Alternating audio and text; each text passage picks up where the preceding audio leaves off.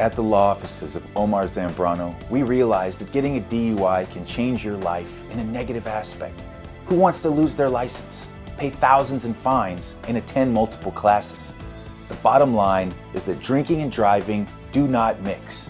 However, if you get pulled over one night, don't panic. I would like to share with you various signs of insobriety that police look for after stopping a citizen on the roadside.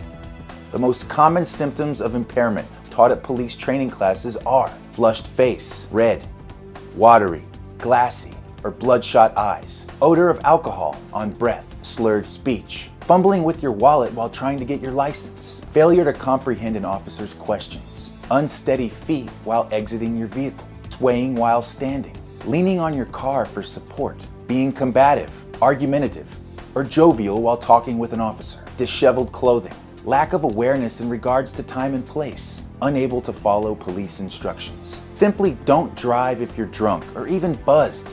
The penalties are just not worth it.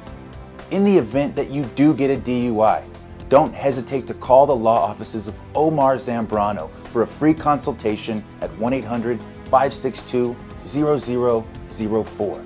That's 1 800 562 0004.